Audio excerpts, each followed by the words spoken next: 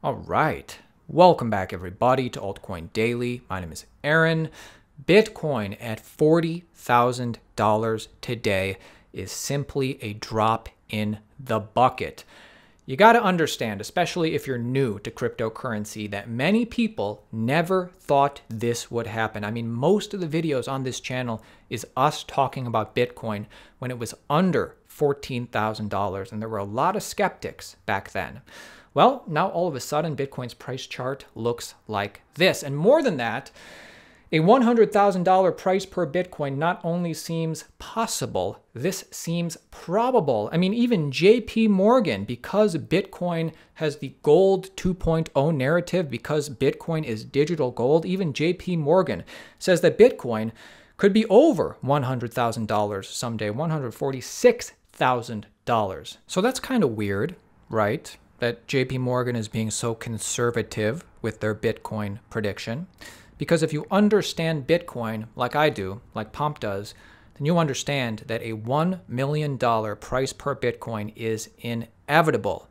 Pomp will explain everything, so make sure you watch this whole clip. It starts off with Melissa Lee. She no longer has that smirk on her face that she used to have. But she asks, "Hey, you know, Bitcoin's only narrative now is is gold. That's it. Is that enough to take Bitcoin to such high prices?" And Pomp educates her as as to why Bitcoin to $1 million inevitable. JP Morgan came out with a note uh, just the other day 146,000 was the price target on Bitcoin. And one of their major um, theses in that note was that it would be a replacement for gold. And I'm just curious because it seems like all of the other bullish reasons behind Bitcoin have disappeared. And now it's primarily the store of value. Can it continue at the pace that you think it should go? with just that one thesis? Yeah, I think, look, one of the key pieces here is why is JP Morgan so conservative, right? If you really think about in the technology world, we talk about 10x improvements of products. Bitcoin is at least 10x better than gold in every way.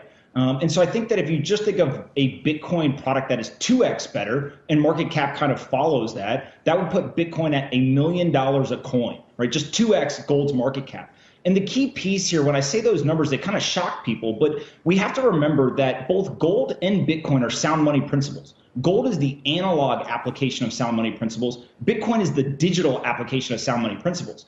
And there is not a single digital product that replaced an analog product, but yet is still smaller than those analog products. The digital product is always bigger. And so I think it's a foregone conclusion at this point that not only is uh, Bitcoin's market cap going to flip gold. It's just a question of how much bigger is it going to be? Is it going to be 2x bigger, 5x bigger, 10x bigger? I don't think we know. Uh, and the timeline is a question, but it's a foregone conclusion, in my opinion, that not only is uh, Bitcoin a 10x improvement on gold, and the market cap is going to flip it at some point in the future. Take the time to understand what Bitcoin is. It is a 10x improvement on gold.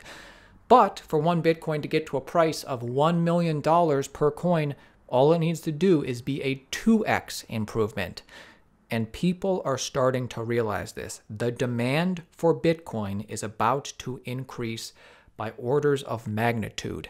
Anthony Pompliano explains this. The other piece of this that I think is really important to understand is that every single corporation, both in the United States and outside the US, is going to put Bitcoin into their treasury.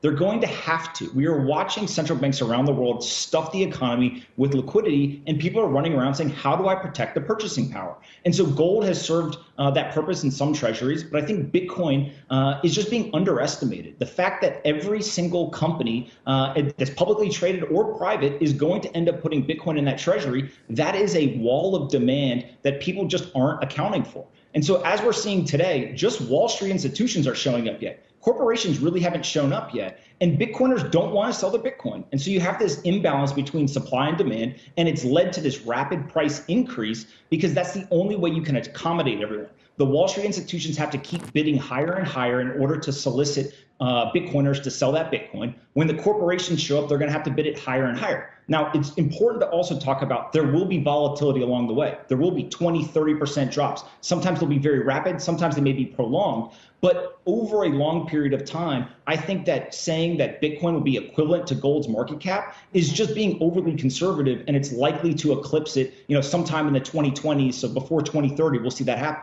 I like that. I like how Pomp keeps things simple and broad because he knows a lot of new people are tuning into this who are interested in Bitcoin and cryptocurrency. I think we're all noticing this.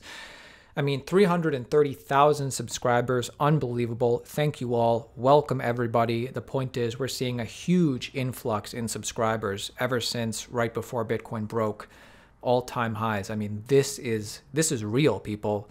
Uh, in fact, eToro said it was so overwhelmed by demand by newcomers who wanted to trade crypto on their exchange, it temporarily boosted the amount new users had to put on deposit to discourage them from joining.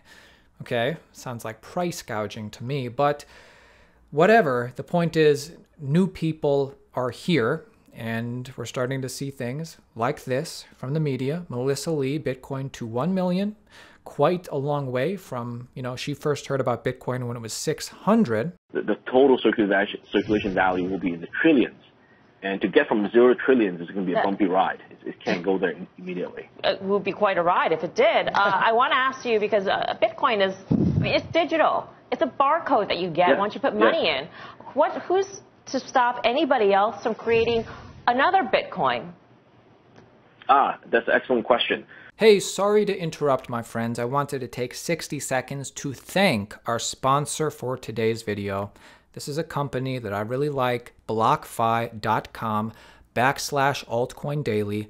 If you have Bitcoin, if you have Ethereum, if you have Litecoin or stablecoins, and they're just sitting around, why not put some of your crypto to work? You can earn up to 8.6 APY with a BlockFi interest account if you use our link or type in blockfi.com backslash altcoin daily and put down $25 or more in crypto, you can get 250 crypto bonus for free for signing up. And by the way, there is no minimum to earn interest in general. This is the payout structure.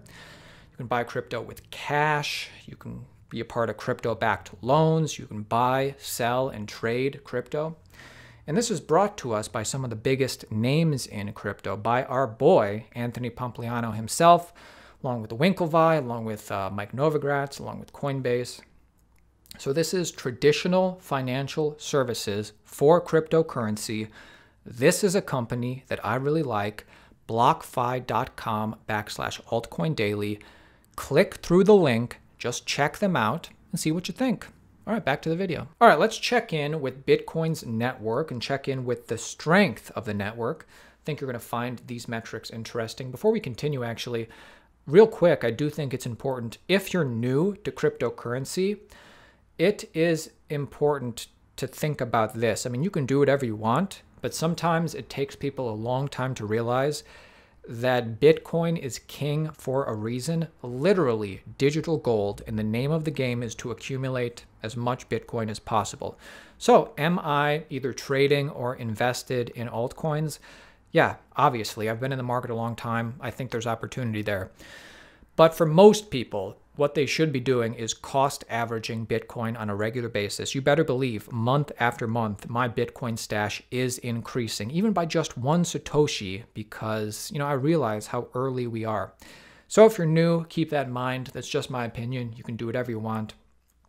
Check out these metrics, pretty revealing. Bitcoin mining difficulty hits another record high. So this speaks to the strength of the network and the fact that miners are, are turning on their mining machines because they want to mine Bitcoin and get access to digital gold. Looks like a new all time high for Bitcoin active addresses is in, ladies and gents. A new all time high for Bitcoin addresses. Literally one of the most important metrics to signal new people coming into the space. The previous all time high for this metric was late 2016 early 2017. So previously, this metric peaked out right here, and you know what happened after that.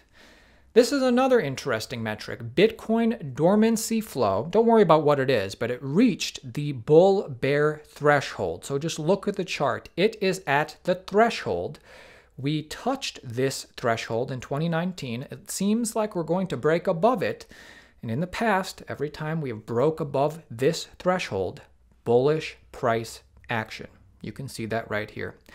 All right, guys, I will see you tomorrow.